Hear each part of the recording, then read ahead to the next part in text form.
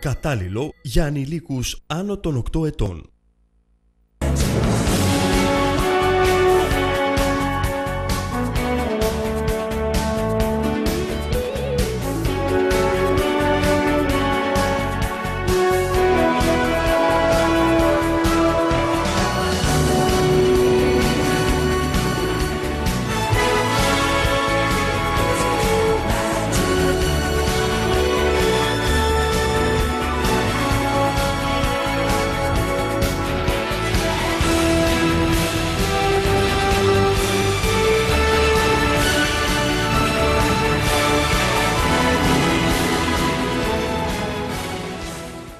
Αγαπητοί τηλεθεατές, καλησπέρα σας. 3η 26 Μαΐου 2020 και έξω ο καιρός δεν μοιάζει για Άνοιξη, για Μάιο, για λίγο πριν το καλοκαίρι, αλλά ίσα ίσα έχει ασχημίνει αρκετά σήμερα, έχει πέσει κατά πολύ θερμοκρασία και εδώ στην Κοζάνη και σε πολλές περιοχές Δυτικής Μακεδονίας, όπου προβλέπονται ισχυρές βροχοπτώσεις και κακοκαιρία για τις επόμενες ημέρες, όμως δεν χάνουμε την αισιοδοξία μας. Άνοιξε η εστίαση, άρχισε σιγά σιγά ο κόσμος να βγαίνει από τα σπίτια του και βέβαια η πολιτική επικαιρότητα είναι έντονη.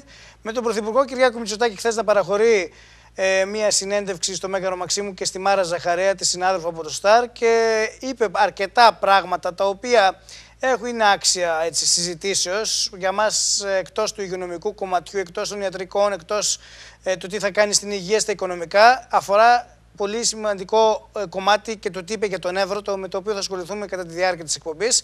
Όμως να δούμε για αυτό το θέμα που απασχολεί τους πολιτικούς συντάκτες, τι είπε για το θέμα των εκλογών και του ανασχηματισμού. Το απέρριψε κατά κράτος το θέμα των εκλογών ή ανασχηματισμού και η προσωπική μου άποψη είναι ότι καλά έκανε, γιατί είναι πολύ νωρίς και για ανασχηματισμό να μιλάμε, γιατί ο ανασχηματισμός έχουν πάρει ένα βηματισμό οι υπουργοί του και για εκλογές φυσικά που δεν έχει ένα χρόνο διακυβέρνησης. Οπότε διέκοψε όλα τα σενάρια αυτά που ακουγόταν μέχρι σήμερα περί εκλογών και ανασχηματισμού. Α δούμε το σχετικό ρεπορτάζ και επιστρέφουμε.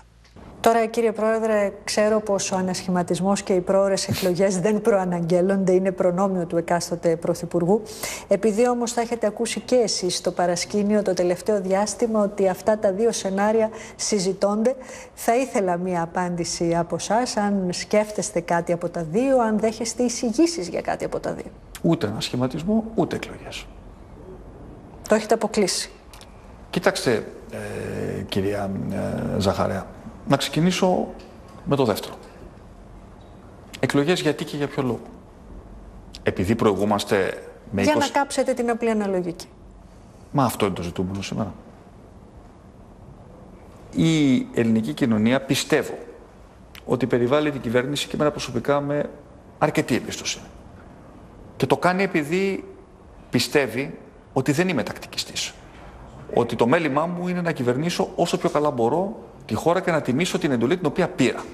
Πήρα μια εντολή τετραετίας. Ήρθαν τα πράγματα, δεν θα έλεγα ανάποδα, αλλά μας προέκυψε μια πολύ μεγάλη κρίση τον πρώτο χρόνο. Αλλά όπως σας είπα, ο πυρήνας της πολιτικής μας παραμένει ο ίδιος. Έχουμε 158 βουλευτές. Ε, μια μεγάλη αποδοχή στην κοινωνία. Είμαστε πιο ισχυροί σήμερα πολιτικά ε, από ότι ε, ήμασταν στις 7 ε, Ιουλίου όταν κέρδισα τι εκλογές. Δεν έχουμε συμπληρώσει καν χρόνο ακόμα. Είμαστε κυβέρνηση 10 μηνών και γίνεται συζήτηση για πρόορες εκλογές. Τελείως ανεύθυνη αυτή η συζήτηση. Ούτε ένα σχηματισμό βλέπω λόγο ε, να κάνω αυτή τη στιγμή. Πάντα κάποια στιγμή θα γίνει κάποιος σχηματισμός. Ε, αλλά δεν είναι του παρόντος. Και πρέπει να σας πω. Όχι με το κλείσιμο ενός έτους διακυβέρνησης. Δεν είναι, δεν είναι του παρόντος ο ανασχηματισμό, γιατί θεωρώ ότι βασικά η κυβέρνηση έχει βρει το βηματισμό της ε, και, και δουλεύει καλά. Και υπάρχει κάποια λογική όλοι, όλα τα πολιτικά στελέχη, να δοκιμάζονται και να έχουν κάποιο χρόνο να μπορούν να αποδείξουν ε, ότι αξίζουν τη ε, εμπιστοσύνη του Πρωθυπουργού, ε, ο οποίος και τους ε, επέλεξε. Άρα, όχι, ε, όχι βιαστικέ κινήσεις και κυρίως όχι κινήσεις που πηγαίνουν κόντρα στην λογική των πραγμάτων.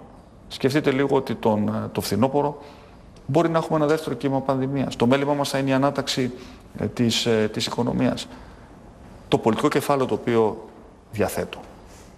Σκοπεύω να το επενδύσω, όχι να το σπαταλήσω. Και να το επενδύσω με τέτοιο τρόπο ώστε να δώσει μέρισμα, τόκο, προς όφελος όλης της κοινωνίας. Και με το καλό, όταν φτάσουμε στο τέλος της τετραετίας, να μπορώ να κρυθώ και εγώ για αυτά τα οποία έχω πετύχει. Σίγουρα αυτός ο χρόνος ήταν διαφορετικός από αυτό που τον περίμενα. Αλλά ε, δεν σημαίνει ότι πρέπει να πατήσουμε πάνω σε κάτι το οποίο μπορεί να έχει και προσωρινά ε, χαρακτηριστικά. Εγώ δεν βλέπω τις, αυτές τις πολύ καλές δημοσκοπήσεις ε, για, να, για, να, για να χαίρομαι και να αισθάνομαι ε, μεγάλη ε, ικανοποίηση. Είναι η φωτογραφία της στιγμής, είναι η αποδοχή από την κοινωνία ότι κάναμε καλά τη δουλειά μας και η δουλειά μας συνεχίζεται. Πολιτικά ορθή η σκέψη του Κυριάκου Μητσοτάκης σχετικά και με τις προέρε εκλογές και με τον ανασχηματισμό, που έρχεται και ο Ανδρέας Παπανδρέου, ένας υπουργός ή υφυπουργός, για να μάθει το αντικείμενο του θέλει 6 μήνες. Για να αρχίσει να ορθοποδεί και να δίνει τα αποτελέσματα η πολιτική του, χρειάζεται πάνω από 8 από 9 μήνες. Μετά αρχίζει να στρώνει η πολιτική. Οπότε δεν χρειάζεται ανασχηματισμό σε αυτή τη φάση. Πέτυχε το θέμα το, το υγειονομικό. Τώρα από εκεί και πέρα, αν το καλοκαίρι ε, υπάρξουν δυσκολίες στην οικονομία, που θα υπάρξουν δυσκολίες στην οικονομία και δεν μπορέσουμε να πετύχουμε κάποια θετικά αποτελέσματα στην οικονομία, ε, νομίζω εκεί πέρα μετά θα κρυθεί μετά τους 10 μήνες, μετά τους ένα χρόνο, 14 μήνες θα αρχίσει να κρίνεται το έργο του οικονομικού επιτελείου, οπότε εκεί ίσως χρειαστούν κάποιες αλλαγές. Ε, και όπως είπε σήμερα ο κύριος Καβαθάς σε δήλωσή του, ε, είπε ότι το 20% των επιχειρήσεων δεν άνοιξαν καθόλου ανά την Ελλάδα, ένα πράγμα το οποίο δεν άνοιξαν καθόλου τώρα. Ένα υπόλοιπο ποσοστό επιχειρήσεων δεν θα μπορέσει να αντέξει μέσα στον επόμενο μήνα, στους επόμενους δύο μήνες, στους επόμενους τρεις μήνες. Είναι ένα πολύ σοβαρό ζήτημα αυτό που διαμορφώνεται στον επιχειρηματικό κόσμο. Και μιλώντας χθες και σήμερα με επιχειρηματίες και της περιοχής μας, μου είπαν ότι είμαστε στα χρέη, μέσα στα χρέη. Μέχρι το λαιμό και για χρέη τα οποία δεν ευθυνόμαστε εμείς, δεν είπαμε εμείς να κλείσουμε, δεν δημιουργήσαμε εμεί το πρόβλημα. Η κυβέρνηση είπε επίσης στα κάγκελα, αν μπορώ να μιλήσω με αυτή την έκφραση, είναι και οι ιδιοκτήτες ακινήτων, οι οποίοι λένε με τη δική μας περιουσία παίζει η κυβέρνηση ο κ. Μητσοτάκης. Γιατί να μας παίρνει και εμείς από τα ενίκια πολλοί ζουν άνθρωποι οι οποίοι έχουν ιδιοκτησία, γιατί να κατεβαίνει στο 60% το ενίκιο; Και πώς διασφαλίζει το οικονομικό επιτελείο της κυβέρνησης ότι αυτά τα λεφτά θα τα πάρουν πίσω από τα ενίκια και θα γίνει ό,τι είναι να γίνει; Ε, πραγματικά εντάξει, δεν μπορεί κάποιος να παίζει με τις ιδιοκτησίες και τις περιουσίες των ανθρώπων και νομίζω ότι μπορεί και να είναι και αντισυνταγματικό κάτι τέτοιο. Το οποίο δεν μπορεί να πει δηλαδή κάποιον, κοίταξε, θα δώσεις αυτό το ποσοστό ενοικίου γιατί έτσι γουστάρω, όπως λέει η κυβέρνηση, και μετά θα τα βρούμε εμείς με τους ιδιοκτήτες. Είναι θέματα, υπάρχουν δάνεια, υπάρχουν υποχρεώσεις, υπάρχουν θέματα τα οποία πρέπει να διακανονιστούν και δεν μπορεί να κάνει ο κ. Μητσοτάκης κοινωνική πολιτική και το οικονομικό επιτελείο φυσικά στις πλάτες των ιδιοκτητών ακινήτων. Είναι ένα ζήτημα το οποίο αυτό θα κληθεί να αντιμετωπίσει ο κ. Μητσοτάκης μετά και από κυρίως και από τη βάση της Νέας Δημοκρατίας, γιατί οι ιδιοκτήτες ακινήτων, μεγαλοεισοδηματίες, άνθρωποι που οι οποίοι ε, ασχολούνται με την οικονομία, είναι ψηφοφόροι της Νέας Δημοκρατίας και εκεί θα χάσει ένα μεγάλο μέρος της βάσης της Νέα Δημοκρατία, αν συνεχίσει χωρίς να τους δικαιώσει. Είπαμε ότι πρέπει κάπως να μειωθεί να και να συμπεριληφθεί αυτό το κόστος σε ένα νέο πακέτο το οποίο θα πρέπει να αφορά και τις επιχειρήσεις αλλά και τους ιδιοκτήτες. Από εκεί και πέρα, ε, η γέφυρα, αυτή η γέφυρα των 24 δισεκατομμύρων που μιλάει και χθες μίλησε και ο ΣΥΡΙΖΑ με το πρόγραμμα Μένουμε Όρθιο. Θα μπορούσαμε να είχαμε ένα στέρχο ΣΥΡΙΖΑ, αλλά όλοι είναι τώρα ε, απασχολημένοι με αυτό το ζήτημα. Ε, είναι Μας ανέλησε κάποια πράγματα χθες ο κύριος Παπαδημούλης, αλλά η κυβέρνηση θεωρεί ότι είναι μια επέκταση του προγράμματος της Θεσσαλονίκης. Εμένα, εγώ βλέπω το αποτέλεσμα. Το αποτέλεσμα στη μια κυβέρνηση ποιο ήταν, ότι μας άφησε μια πρίκα σαν χώρα, κάποια δισεκατομμύρια και αυτή τη στιγμή μπορεί να κινηθεί ο κύριος Μητσοτάκης. Από την άλλη, οι προηγούμενες κυβερνήσεις, αλλά και αυτή η κυβέρνηση, οι προηγούμενες κυβερνήσεις και τη Νέα Δημοκρατία και του Πασόκ, ξέρουμε ότι μας άφησαν χρέη. Δεν το έχει καταγράψει η ιστορία αυτό το πράγμα. Άρα, πρέπει ο κύριος Μητσοτάκης να έχει σαφή και επιτυχημένα αποτελέσματα από τη στιγμή που η προηγούμενη κυβέρνηση άφησε χρήματα στον κροτικό καβαρνά και δεν άφησε χρέη. Χρέωση βεβαίως υπάρχει. Αλλά υπήρχε και μια ρευστότητα η οποία μπορεί ε, αυτή τη στιγμή αυτή η ρευστότητα να βοηθήσει να αντιμετωπιστεί η κρίση. Και γι' αυτό πρέπει να πάρει προς το βαρύ μέτρα για την οικονομία ο κ. Μητσοτάκης. Τώρα, ένα άλλο θέμα το οποίο συζητήθηκε πάρα πολύ έντονα στην uh, συνέντευξη και το είδαμε όλοι χθες όσοι παρακολουθήσαμε τη συνέντευξη του Πρωθυπουργού, την πρώτη μέσα στην πανδημία. Γιατί ακόμα ο κ. Πιτσοτάκη είπε ότι έχουμε ακόμα πανδημία, δεν έχουμε περάσει, δεν έχουμε ολοκληρώσει, δεν έχει τελειώσει αυτό το, το, βάσανο. Και όπως ανακοίνωσε σήμερα και ο Παγκόσμιος Οργανισμός, ε, η Παγκόσμια Οργάνωση Υγείας, ε, το θέμα τώρα ποιο είναι πλέον, τι γίνεται με τον Εύρο. Είναι ένα ζήτημα που έχει δημιουργηθεί στον Εύρο και θα έχουμε και στη συνέχεια και ανθρώπους που γνωρίζουν πράγματα σχετικά με πάνω τι συμβαίνει. Μια, ένα δημοσίευμα της εφημερίδας The Sun, της ε, αγγλικής εφημερίδας, της βρετανικής εφημερίδας, είπε ότι οι Τούρκοι αστυνομικοί έχουν μπει μέσα σε αυτό το κομμάτι μέρος γης το οποίο βρίσκεται στον Εύρο. Για να ακούσουμε όμως τι είπε ο κύριος Μητσοτάκης επί τούτου και να επανέλθουμε. Θέλω να περάσουμε στα εθνικά θέματα. Πού ακριβώς βρίσκονται οι σχέσεις μας με την Τουρκία και τι τελικά συνέβη στην κήτη του Εύρου τις τελευταίες μέρες; Δεν εκτιμώ ότι συνέβη τίποτα. Το οποίο να ε, είναι αξιοσημείωτο και το οποίο να χρήζει ε, όλης αυτής της ε, συζήτησης η οποία έγινε κυρίως στα μέσα κοινωνικής δικτύωσης, την οποία μάλιστα έσπρεσε να εκμεταλλευτεί και η αντιπολίτευση κακώς κατά, την, ε, κατά την άποψή μου, γιατί στην ουσία υιοθέτησε μια πιο ακροδεξιά ρητορική. Ξέρετε πολύ καλά ότι ε, τα σύνορα της Ελλάδος με την Τουρκία, τα χερσαία σύνορα, ε, είναι απολύτως καθορισμένα βάσει τη συνθήκη της Λοζάνης και των πρωτοκόλων του 26 που ακολούθησαν. Ξέρετε επίσης ότι η κήτη του Εύρου παίζει παιχνίδια, μετακινείται. Η συνολική γραμμή όμως δεν μετακινείται. Είναι η ίδια. Ε, ποιο ήταν το αποτέλεσμα αυτών των μετακινήσεων της κήτης του Εύρου, ότι υπάρχουν τμήματα αυτή τη στιγμή ανατολικά του Εύρου, τα οποία είναι ελληνικά εδάφη, όπως υπάρχουν και τμήματα δυτικά του Εύρου, τα οποία είναι τουρκικά εδάφη, επειδή έχει μετακινηθεί η κήτη του Εύρου. Αυτά είναι τεχνικά ζητήματα. Δεν μπήκαν Τούρκοι στρατιώτες δηλαδή σε ελληνικό έδαφος. Όχι. Και αυτά τα, τα τεχνικά ζητήματα που αφορούν την οριοθέτηση, την ακριβή οριοθέτηση της συνοριακής γραμμής, λυνόντουσαν πάντα σε τεχνικό επίπεδο. Δεν είναι αυτή μια συνοριακή ε, διαφορά η οποία ε, υπάρχει με Τουρκία. Και δεν λέει και η Τουρκία ότι είναι μια συνοριακή διαφορά. Θα σας πω πού πιστεύω ότι προέκυψε ε, το ζήτημα. Νομίζω ότι υπάρχει ενδεχομένως μια νευρικότητα από πλευράς Τουρκίας σχετικά με την πρόθεση της Ελλάδος να ε, ενισχύσει τον, ε, τον φράχτη στις Καστανιές και να χτίσει και ένα νέο φράχτη στο τμήμα των, ε, των Φερών, εκεί δηλαδή που δεν είναι το όριο με την Τουρκία ο ίδιος ο, ο, ποταμός. Είναι να αναφέρει το δικαίωμα να το κάνουμε, θα το κάνουμε, όπως το κάναμε ήδη στο, στο βόρειο τμήμα. Έχουμε ενημερώσει την Τουρκία με ρηματική διακοίνωση ότι θα το κάνουμε. Το κάνουμε, για να σας το εξηγήσω και τεχνικά, λίγο εντός του ελληνικού εδάφους, όπως έγινε ακριβώς και, ε, και με το φράκτη της Καστανιέ, για να μην υπάρχει καμία απολύτως αμφιβολία για το πού ε, μπαίνει ο φράχτης, χωρίς να σημαίνει ότι απεμπολούμε, προσοχή, το έδαφος που μεσολαβεί μεταξύ του φράχτη και της συνοριακής γραμμής. Απλά για να μπορούμε να κινηθούμε πολύ πιο γρήγορα, ο φράχτης αυτός θα γίνει. Ε, η χώρα έχει κερδίσει ως ε, κεκτημένο τη δυνατότητα να φυλάει τα σύνορά της και θα χρησιμοποιήσει όλα τα μέτρα που έχει, τα μέσα που έχει στη διάθεσή της για να μπορεί να πετύχει αυτόν τον στόχο. Τώρα μου κάνατε μια ευρύτερη ερώτηση. Ε, ποιο είναι το επίπεδο των σχέσεων ως. Όχι αυτό το οποίο θα ήθελα. Θα το λέω ε, ειλικρινά. Ε, όχι με δικιά μας υπετιότητα. Είχαμε δει μια τουρκική προκλητικότητα ε, τους τελευταίους ε, μήνες που δεν πιστεύω ότι εξυπηρετεί την ε, προσπάθεια ε, σίγουρα από πλευράς μας να πέσουν ε, οι τόνοι, χωρίς όμως να κάνουμε καμία έκπτωση στα εθνικά μας συμφέροντα. Διεύλοι επικοινωνίε με τον Ερντογάν υπάρχουν; Διεύλοι επικοινωνίας υπάρχουν ε, διπλωματικοί. Αλλά δεν θα έπρεπε να αποτελεί. Να σα πω και κάτι ακόμα. Είμαστε πολύ σίγουροι για το δίκαιο μας. Και νομίζω ότι η Ελλάδα αυτή τη στιγμή είναι μια χώρα η οποία έχει αυτοπεποίθηση. Δεν θα έπρεπε να είναι θέμα αν και πώς θα μιλήσει ο Έλληνας Πρωθυπουργός με τον Τούρκο Πρόεδρο. Θα πρέπει να είναι είδηση. Πώ να μιλάμε ε, για ζητήματα όπως παραδείγματος χάρη η πανδημία.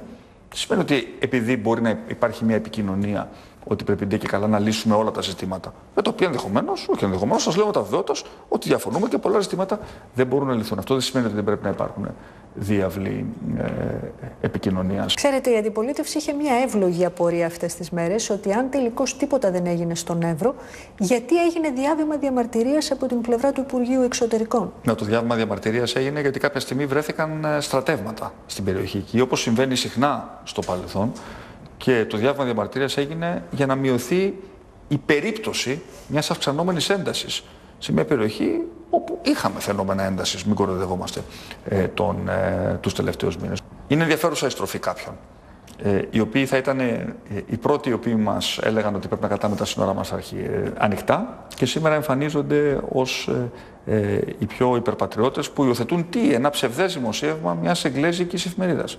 Γιατί από εκεί ξεκίνησε όλη η υπόθεση. Νομίζω ότι αξίζουμε μεγαλύτερη υπευθυνότητα στα ζητήματα εξωτερικής πολιτικής αξίζουμε μεγαλύτερη υπευθυνότητα στα ζητήματα εξωτερικής πολιτικής, αλλά ο κύριος Δένδια δεν ξέρω γιατί λίγο έχασε την μπάλα στο θέμα της διαχείρισης κρίσης αυτή του ευρώ. Ενώ τα πήγαν πολύ καλά στην προηγούμενη κρίση που μαζεύτηκε και όλος ο στρατός πάνω με απόσπαση, μαζεύτηκε η αστυνομία, δεν πέρασε κανείς. Και ο φράκτη και το, για το θέμα του φράκτη που είπε ο κ. Μητσοτάκης, πολύ σωστά είπε ότι πρέπει να συνεχιστεί αυτό το έργο και να υπάρξει ασφάλεια, κυρίως από την πλευρά της Τουρκίας, όχι τόσο δηλαδή για την, ε, ε, ότι πρέπει να υπάρχουν σύνορα μεταξύ χωρών, αλλά αφού έχουμε τους γείτονές μας, οι οποίοι γείτονές μας είναι ανακατοσιάριδε. Τρία μέτωπα είναι τα οποία φοβάμαι με τον Ερντογάν. Το ένα μέτωπο είναι στον Εύρο. Βέβαια, ο Εύρος δεν μπορεί να χτυπηθεί εύκολα. Είναι θωρακισμένος απόλυτα και αυτό θα μας το εξηγήσουν και στρατιωτικοί παράγοντες που θα μιλήσουμε σε λίγο. Δεύτερο κομμάτι είναι η Ανατολική Μεσόγειος. Εκεί το φοβάμαι ότι ο Ερντογάν με τη συμφωνία που έχει κάνει με τη Λιβύη θα προχωρήσει κανονικά ε, σε αυτά που έχει πει, γιατί ο Ερντογάν ό,τι λέει το κάνει πράξη.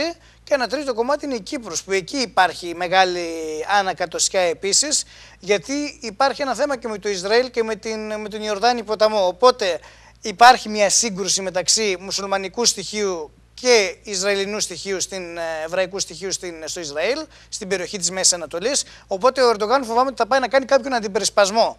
Το ζήτημα είναι τώρα ποιο, πώς μπορούμε να τον αντιμετωπίσουμε τον Ερντογάν και με ποιες διαδικασίες. Στην τελευταία κρίση που έγινε στον Ευρώ, η Ευρωπαϊκή Ένωση μπόρεσε και έδωσε αρκετές απαντήσεις, ερχόμενοι και η Επίτροπος και οι αρμόδιοι Αυστριακοί και οι άνθρωποι οι οποίοι διαχειρίζονται το θέμα του μεταναστευτικού ήρθαν στον Εύρο και μαζί με τον Κυριάκο Μητσοτάκη επισκέφθηκαν την περιοχή και έδωσαν μια απάντηση, στέλνοντας και εξοπλισμό, δημιουργώντας και τις συνθήκες τις οποίες κατάλαβε ο Ερντογάν ότι είναι λίγο δύσκολη η περίπτωσή του εκεί πέρα να, κάνει, να περάσει το δικό του.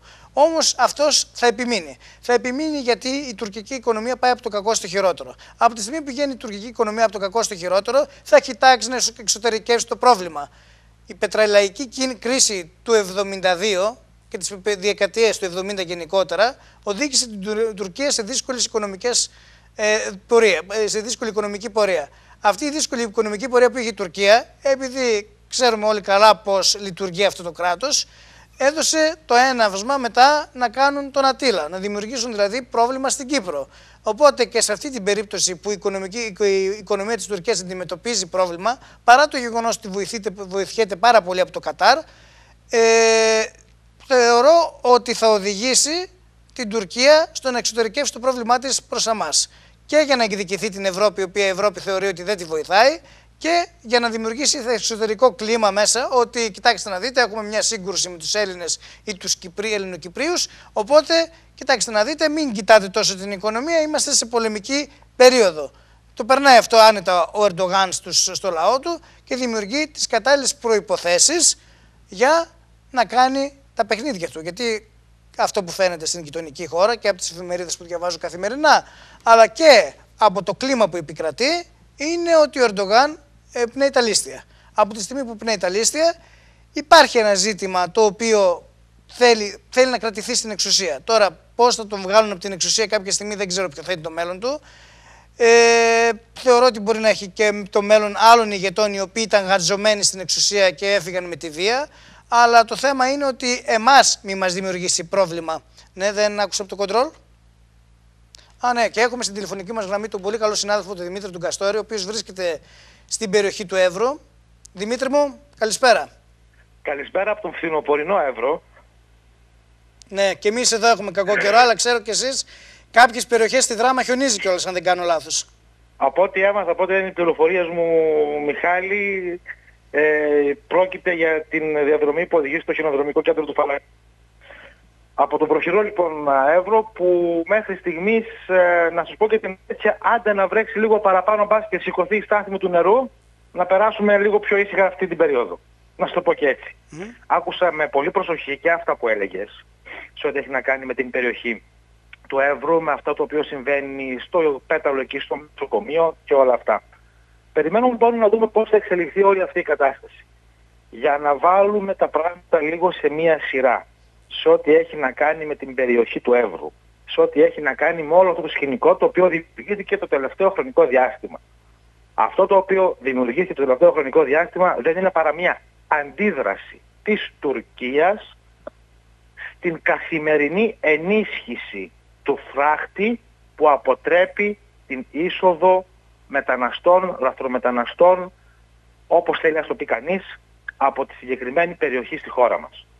Όταν λοιπόν φτάσαμε στο σημείο στην περιοχή του Μελισσοκομείου να γίνονται μετρήσεις από την πλευρά της Ελλάδος, και αφού ήδη είχαμε στείλει εμείς οι Έλληνες στο Υπουργείο Εξωτερικών σχετική νότα στο ε, αρμόδιο, στην αρμόδιο Υπουργείο Εξωτερικών της Τουρκίας ενημερώνοντάς τους ότι ξέρετε εμείς θα προχωρήσουμε σε κάποια έργα στην περιοχή. Τότε μας ζήτησαν τι, μας ζήτησαν στην ουσία να συγκριθεί αυτή η επιτροπή έτσι ώστε να δούμε τι είναι αυτά τα έργα και πού θα γίνουν. Το αίτημά τους απερίφθη, διότι πολύ απλά πρόκειται τα έργα αυτά να γίνουν μέσα στο ελληνικό έδαφος και δεν χρειάζεται να ρωτήσουμε κανέναν άλλον. Πολύ απλά όταν εγώ θέλω να σπείρω κάτι στην αυλή μου, τους παίρνω. Έτσι δεν είναι; Πολύ σωστά. Ακριβώς. Οπότε από εκεί και μετά παρατηρήθηκαν κάποιες κινήσεις κυρίως τουρκικών δυνάμεων, λίγων μικρών τουρκικών δυνάμεων, στην απέναντι πλευρά. Σε ό,τι έχει να κάνει με αυτά τα οποία έχουν ακουστεί, ότι πέρασανε τα σύνορα και όλα αυτά, πιστέψτε με ότι αυτοί οι οποίοι κράτησαν χιλιάδες κόσμο με την που υποστηριζόταν μάλλον αυτοί οι πρόσφυγες, οι τζιχαντιστές μάλιστα όπως τους είχε πει ο κύριος ε, ε, Χρυσοχοίδης. Το θυμάσαι κι εσύ; Αυτοί λοιπόν οι άνθρωποι οι οποίοι κράτησαν αυτούς τους τζιχαντιστές, οι οποίοι υποβοηθιόταν κιόλας και από τις τουρκικές δυνάμεις, ξέρουν να κάνουν πάρα πολύ καλά τη δουλειά τους, ξέρουν που είναι το ελληνικό έδαφος και δεν θα επέτρεπαν ποτέ, μα ποτέ, να γίνει κάτι αντίστοιχο και μάλιστα από ένοπλο τμήμα της γειτονικής και συμμάχου χώρας. Χάλι. Δηλαδή η εφημερίδα σαν της Βρετανίας... Η εφημερίδα σαν της Βρετανίας, για να μην κατονομάσω σχετικές εφημερίδες της χώρας μας και όχι μόνο, πήρε ένα συγκεκριμένο κομμάτι όπως πολύ ακριβώς κάναν και πολλοί άλλοι συνάδελφοι. Μπήκαμε σε αυτή, βάζω τον εαυτό μου μέσα όπως είδες, μπήκαμε σε αυτή την σε αυτό το φαύλο κύκλο να ψάχνουμε να βρούμε τι έγινε, πώς έγινε και τα σχετικά. Όσοι έχουν υπηρετήσει στη συγκεκριμένη περιοχή, όσοι ζουν στη συγκεκριμένη περιοχή ξέρουν πολύ καλύτερα τι ακριβώς συμβαίνει. Είναι κομβικής, σημείας, είναι κομβικής σημασίας το μιλισσοκομείο, εκεί, η περιοχή εκείνη. Το ξέρω, έχω υπηρετήσει πάνω και το ξέρω. Ναι. Είχαν συγκεντρωθεί πάρα πολύ μεγάλοι πληθυσμοί στην πρώτη κρίση του Εύρου, στη συγκεκριμένη περιοχή, γιατί δεν μπορούσαν να περάσουν από πουθενά αλλού. Ούτε από εκεί κατάφεραν να περάσουν. Αυτό που ψάχνει ο Ερντογάν είναι να πάρει τη ρεβάνς στον Εύρο. Δεν θα του βγει όμως πάλι, γιατί έκανε μια κίνηση να πιάσει στον ύπνο, ας μου επιτραπεί, την ελληνική πλευρά. Κάθε άλλο, όπως αποδείχθηκε. Και κάτι ανάλογο προσπαθεί να κάνει τώρα. Προσπαθεί μέσω της προπαγάνδας να στήσει ένα συγκεκριμένο περιστατικό θέλοντας με τον τρόπο αυτό να βάλει ακόμη, ακόμη σε αμφισβήτηση και τα χερσαία σύνορα.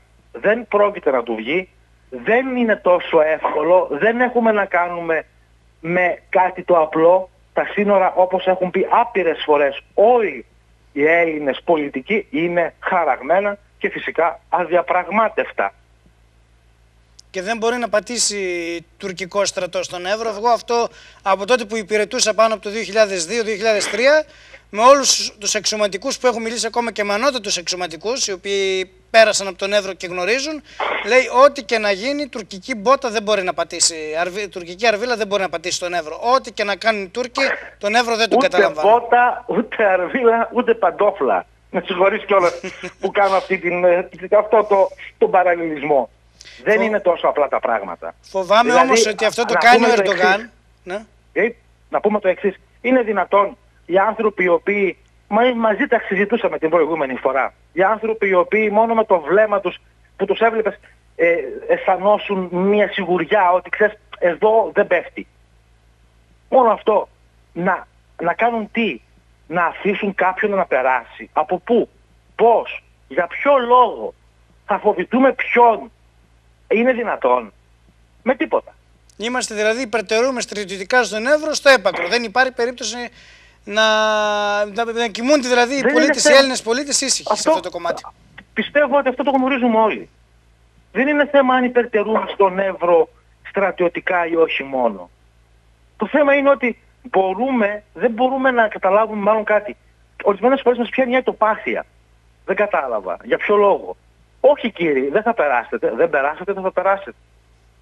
Δεν είναι το ίδιο. Δεν είναι θάλασσα, ούτε είναι ας πούμε, ότι όχι στη θάλασσα περνάνε εύκολα, απλά είναι διαφορετικές οι συνθήκες. Χωρικά ύδατα, διεθνή ύδατα. Δηλαδή τι, αφήνουμε τα αεροπλάνα τους, θα κυνηγάμε τα αεροπλάνα τους και θα κυνηγούσαμε τους πεζούς, αν μπαίναν μέσα. Πώς; Πρέπει να είμαστε προσεκτικοί στις αναλύσεις, πρέπει να είμαστε προσεκτικοί ακόμη και στο γεγονός πώς μεταφέρουμε τις ειδήσεις. Το ξέρεις πάρα πολύ καλά και εσύ, το ξέρω κι εγώ. Πρέπει να είμαστε ιδιαίτερα προσεκτικοί. Απλά φοβάμαι πως το κάνει για την περισπασμό Ερντογάν. Δηλαδή, κινηθείτε δηλαδή... και στον Εύρο, εγώ θα κάνω τη δουλειά μου ή στην Κύπρο ή στην Νοτιοανατολική Μεσόγειο. Έχουν γνώση οι φύλακες. Ο Εύρος καθημερινά, ακόμη και τώρα που μιλάμε, ενισχύεται καθημερινά. Απέ, οι απέναντι τι κάνουν, οι απέναντι τι κάνουν, έχουν κινητικότητα, βλέπεις κάτι... Οι απέναντι αυτή τη στιγμή το μοναδικό που κάναμε ήταν αφού εμείς κάναμε τις συγκεκριμένες μετρήσεις, τότε στην δική τους πλευρά στείλαν και αυτοί τη γεωγραφική υπηρεσία τη δική τους του στρατού και μερικούς ε, στρατοχωροφύλακες με πολύ λίγες δυνάμεις, όχι πάνω από 20 άτομα που θυμάμαι καλά. Και διάβαζα και οι πληροφορίες με αυτό λένε, όχι πάνω από συνολικά 20 άτομα. Σε ό,τι έχει να κάνει με το πολεμικό κλίμα το οποίο προσπαθεί να διαμορφώσει ορισμένες φορές ε, η γειτονική χώρα. Όσες φορές το έχει κάνει, το κάνει μόνο στο κομμάτι της προπαγάνδας. Ποτέ δεν έχει κάνει κάτι απέναντι σε εμάς γνωρίζοντας πολύ καλά ποια θα είναι η κατάληξη αν κάνει κάτι τέτοιο. Για τον φράχτη, Δημήτρη, ποια είναι η άποψή σου; Ο Μητσοτάκης είπε χθες ότι θα συνεχιστεί κανονικά, θα γίνει Συνεχίζεται. Όχι, ναι. θα συνεχίζεται. Συνεχίζεται. Όταν ανέβαινα προς τα πάνω σήμερα τα φορτηγά του ελληνικού στρατού, ανέβαζαν αυτά τα μεγάλα, τους μεγάλους κυβόλυφου. Συνεχίζεται, δεν θα σταματήσει. Δεν πρόκειται να σταματήσει. Μάλιστα. Δεν πρόκειται να... Στην ουσία τι είναι, είναι ένας φράχτης μόνος μας, όχι. Είναι ο φράχτης της συνέχειας των συνόρων και της Βουλγαρίας. Των ευρωπαϊκών συνόρων με λίγα λόγια. Ναι, βέβαια. Ε, βέβαια, γι' αυτό και ήρθαν και ήταν και συμβολική η επίσκεψη των Ευρωπαίων ηγετών εδώ που ήρθαν στον Εύρο και ενίσχυσε και το ηθικό. Ακριβώς. Αν και δεν χρειαζόταν να ενισχυθεί το ηθικό μας από την επίσκεψη των Ευρωπαίων, το λέω ξεκάθαρα αυτό. Όπως επίσης να μην ξεχνάμε και το εξής. Στην περιοχή του Εύρου δεν είμαστε μόνοι μας. Δεν περιπολούν δηλαδή μόνο ο ελληνικός στρατός και η ελληνική αστυνομία. Είναι και η δύναμη τη Frontex. Και πίστεψέ με, πολλές φορές ε, από τις, άμα δεν αν φορούσαν οι ίδιες στολές δεν θα καταλάβαινες ποιος ήταν Έλληνας και ποιος ήταν ε, ξένος. Αναφορικά με το ζήλο πάνω στον οποίο κάνουν τη δουλειά τους. Είναι και Γερμανοί και Αυστριακοί πάνω; Από ό,τι θυμάμαι ναι. Και Πορτογάλοι. Μάλιστα. Να σε ευχαριστήσω πάρα πολύ Δημήτρη για την παρέμβασή σου ναι, και, για τις ειδήσεις που μας έδωσες από πάνω από τον ακριτικό Εύρο. Ήταν ο Δημήτρης Ουκαστόρη, συνάδελφος δημοσιογράφος που εκεί στη Θράκη καλύπτει το ρεπορτάζ. Εμείς κυρίες και κύριοι να πάμε σε ένα σύντομο διαφημιστικό διάλειμμα και να επανέλθουμε πάλι. Θα επανέλθουμε για το θέμα του Εύρω γιατί είναι πολύ σημαντικό και οφείλουμε να σας ενημερώσουμε γιατί όλους σας αφορά.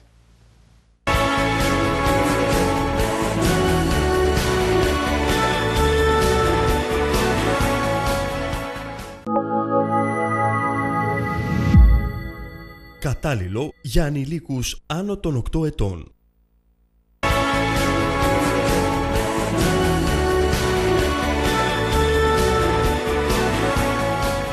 Επιστρέφουμε κυρίες και κύριοι στην ώρα αιχμής, στο δεύτερο μέρος ώρα αιχμής. Στο πρώτο μέρος ακούσαμε τι είπε χθες ο Πρωθυπουργός στη, Μάρα, στη Μάρα Ζαχαρέα για το θέμα του και των πρόωρων εκλογών, του ανασχηματισμού αλλά και του Εύρου που συζητάμε σήμερα.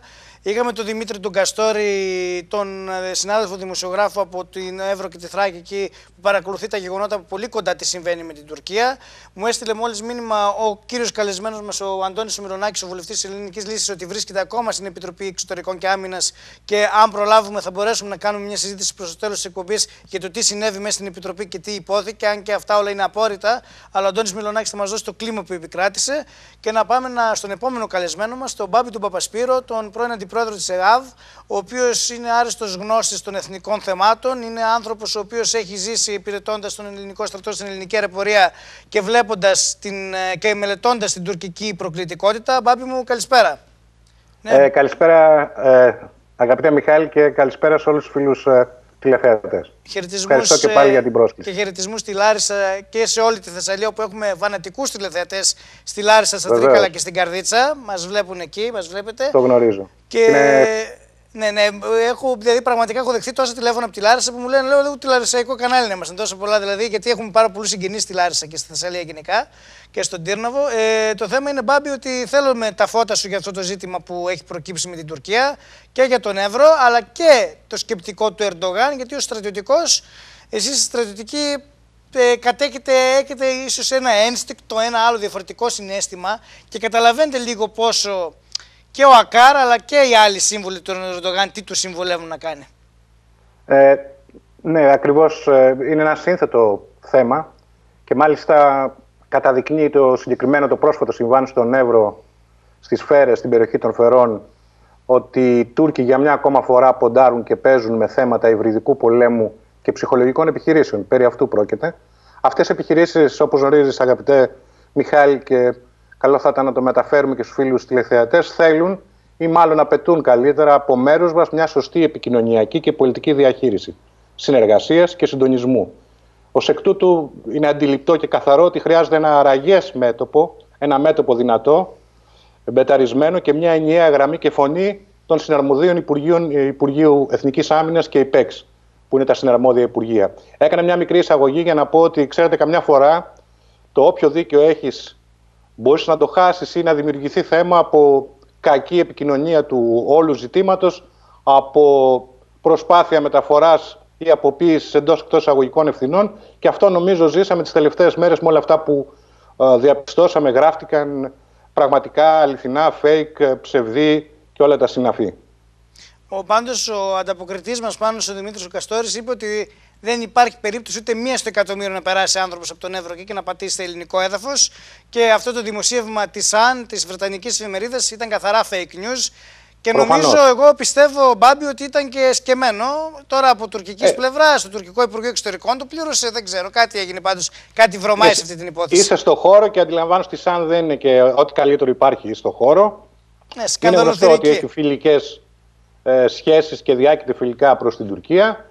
Γι' αυτό λοιπόν ανέφερα το θέμα του επικοινωνιακού, του υβριδικού και ψυχολογικού πολέμου, ο οποίος θέλει ιδιαίτερη προσοχή. Βέβαια, να μην ξεχνάμε το να πει ο καθένας από εμάς την άποψή του είναι θεμητό και λογικό. Όμως, όταν κατέχεις ένα αξίωμα και μια θέση ευθύνης που χειρίζεσαι θέματα, πρέπει να είσαι ιδιαίτερος προσεκτικός. Δεν θα επαναλάβω τα όσα υπόθηκαν περί δεκάδων μέτρων, περί δεν είμαι παρατηρητής που είπε ο κ. Δένδια σε χθεσινή του συνέντευξη στα σύνορα, περί εντός εκτός εισαγωγικών μεταφοράς του χειρισμού του θέματος του Υπουργείου Άμυνας. Αυτά νομίζω κάποια στιγμή πρέπει να σταματήσουν. Οι συνθήκες είναι σαφείς της Λοζάνης του 23 και του 26 με την τροποποίηση.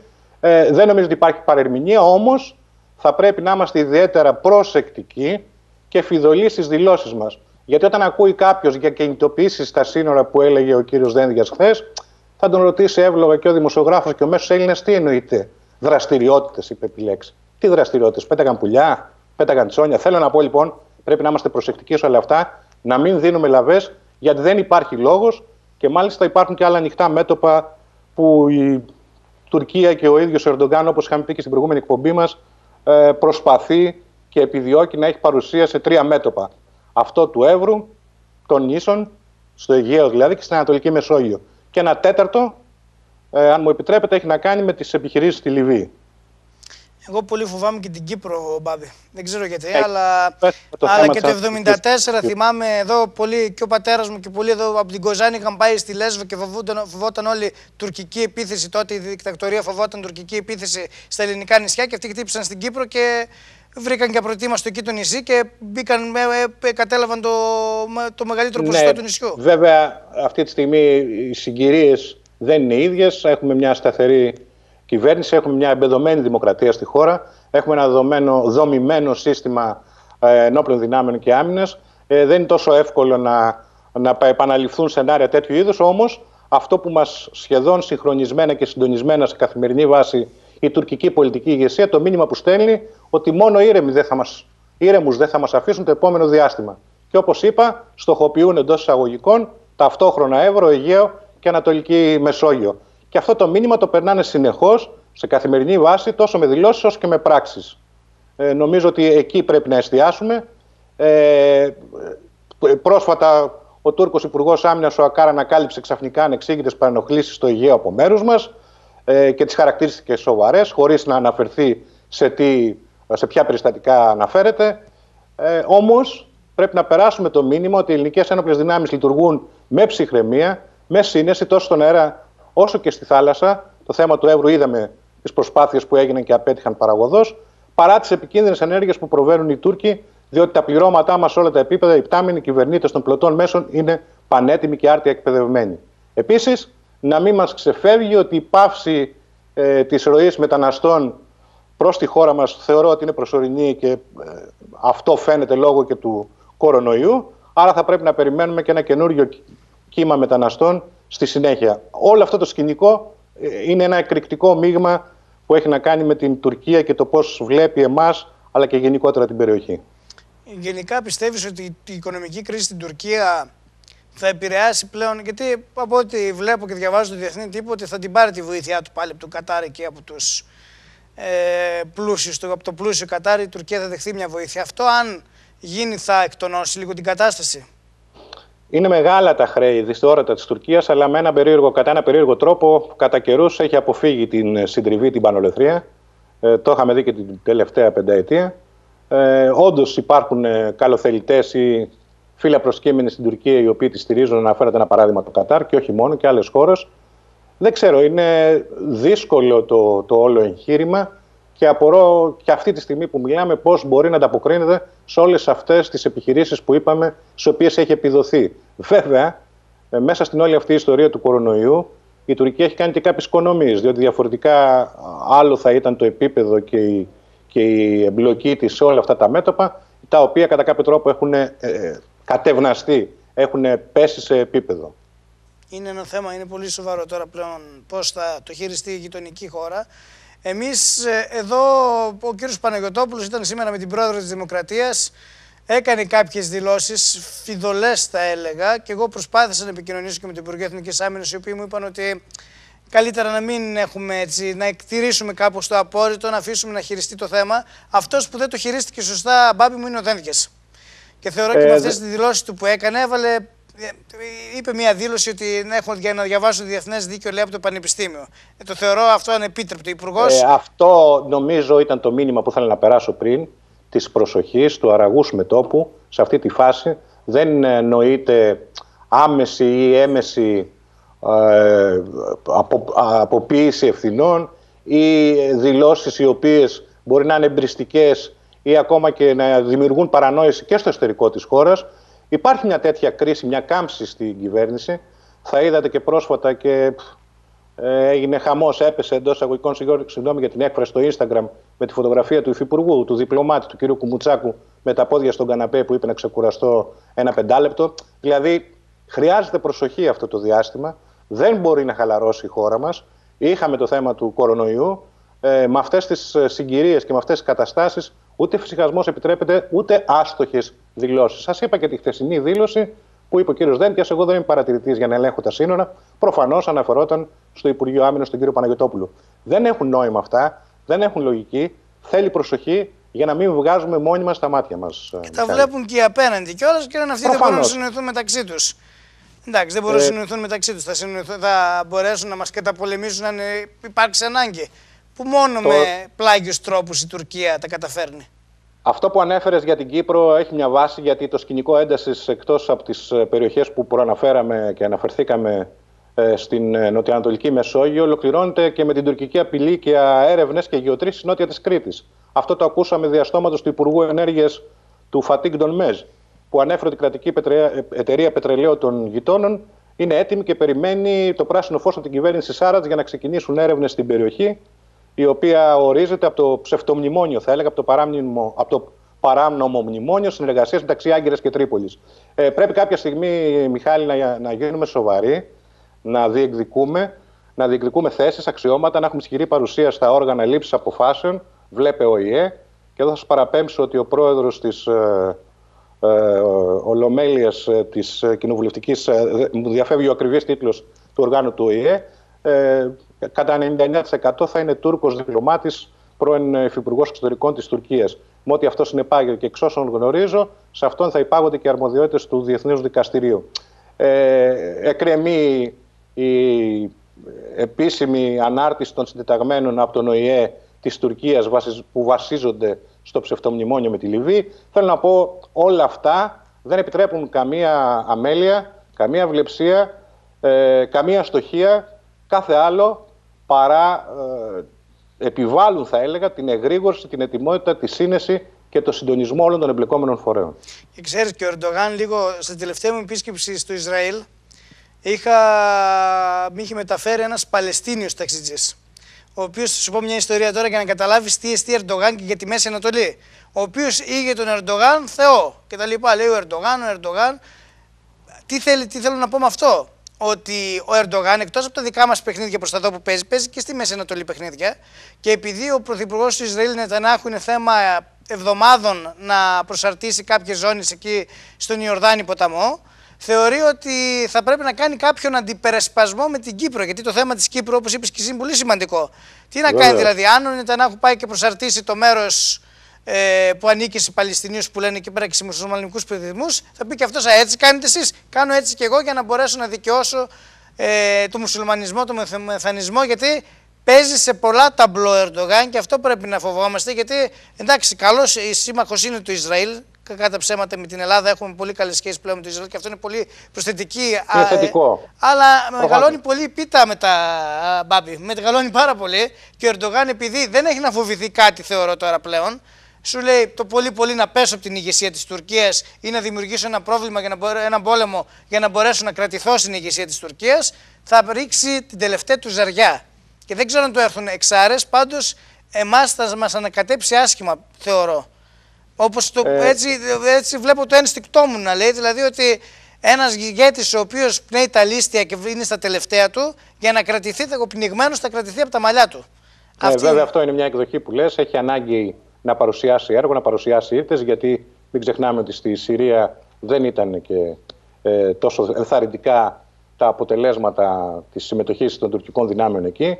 Ε, το λάθος ε, συμβαίνει συνήθως σε περιπτώσεις όπως αυτές που ανέφερες όταν προσπαθεί κάποιος να ανοιχτεί πολύ, όταν έχει οικονομικά προβλήματα, σίγουρα κάπου θα υπάρξει ε, λάθος, σίγουρα θα γίνει εσφαλμένος χειρισμός και νομίζω ότι δεν μπορούν πάντα όλα ε, να του πηγαίνουν ε, κατευχήν. Όμως δεν μπορούμε να βασιστούμε στην τύχη, δεν μπορούμε να βασιστούμε στο κακό momentum, δεν μπορούμε να βασιστούμε σε τέτοιου είδους συγκυρίες. Πρέπει να είμαστε έτοιμοι, πρέπει να είμαστε ε, ε, εξοπλισμένοι σωστά και αυτό έχει τη σημασία του.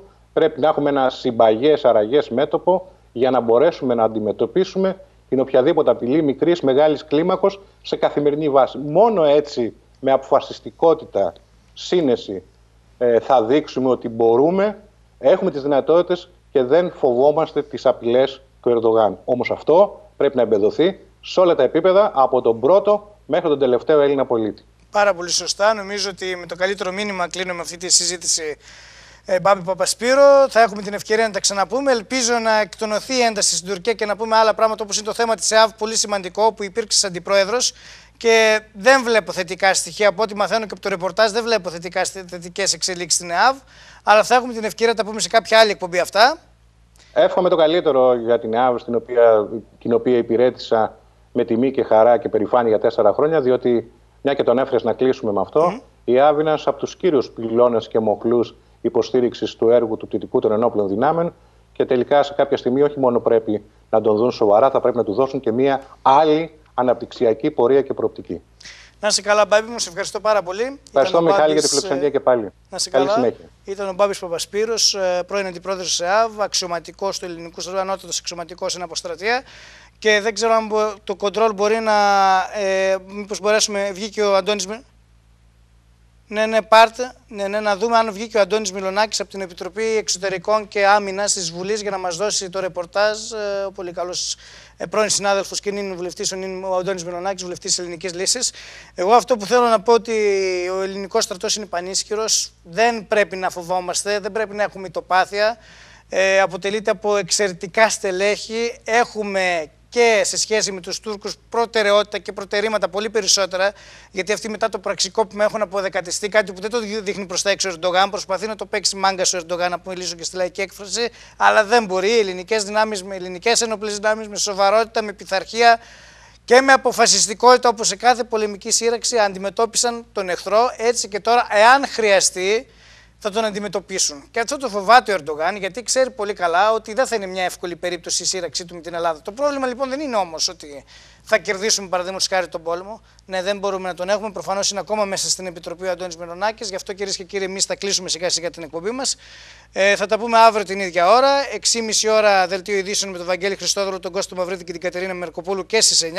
Εμείς σε επανάληψη λίγο πριν τις 2 το βράδυ και λίγο πριν τις 8 το πρωί. Και αύριο την ίδια ώρα με καλεσμένο έκπληξη. Να είστε καλά, καλή συνέχεια.